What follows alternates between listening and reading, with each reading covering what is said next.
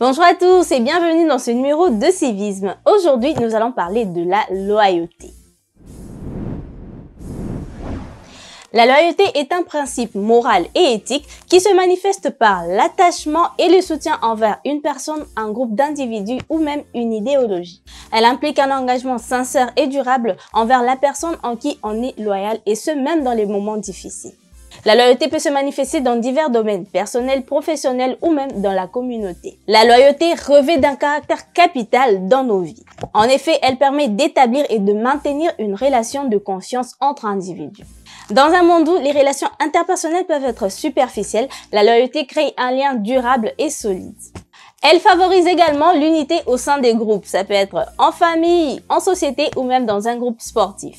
L'une des caractéristiques de la loyauté, c'est qu'elle engendre un sentiment de stabilité et de sécurité. Les individus savent qu'ils peuvent compter sur ceux qui leur sont fidèles et cela renforce leur cohésion et leur amitié. En outre, la loyauté est essentielle pour construire une culture d'entreprise positive. Les employés loyaux sont souvent plus productifs, plus motivés et moins enclins à quitter l'organisation. Cependant, il est très important de souligner que la loyauté ne doit pas être aveugle. Être loyal ne signifie pas soutenir des comportements immoraux et illégaux. La loyauté doit être équilibrée par des valeurs telles que l'intégrité et le respect de l'éthique morale. En tant qu'être humain, nous devons nous interroger sur la nature de l'objet de notre loyauté et voir si cela concorde avec nos propres convictions.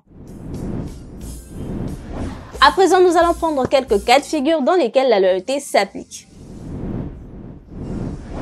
En famille, par exemple, la loyauté s'applique lorsqu'un enfant décide de soutenir ses parents moralement ou financièrement lorsqu'ils sont dans des temps difficiles. En amitié, la loyauté existe aussi. Elle se manifeste quand un ami défend son ami lorsqu'il fait face à des critiques ou à des situations difficiles. Cela démontre d'une loyauté sans faille.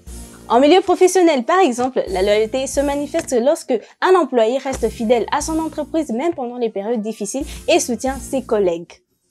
Quand vous avez un manager qui soutient son équipe devant la direction, même en cas d'échec, cela s'appelle de la loyauté professionnelle. On peut aussi être loyal à une cause, comme de nombreux individus qui se consacrent à des causes sociales ou à des idéologies. Par exemple, un écologiste qui se consacre à la défense de l'environnement est un individu loyal à sa cause. La loyauté est un pilier fondamental pour les relations humaines. En effet, elle offre des bases solides pour l'amitié, l'amour et la coopération. Toutefois, il est important de veiller à ce que notre loyauté soit guidée par des principes éthiques. Cela afin de garantir qu'elle renforce non seulement nos relations, mais aussi notre intégrité personnelle.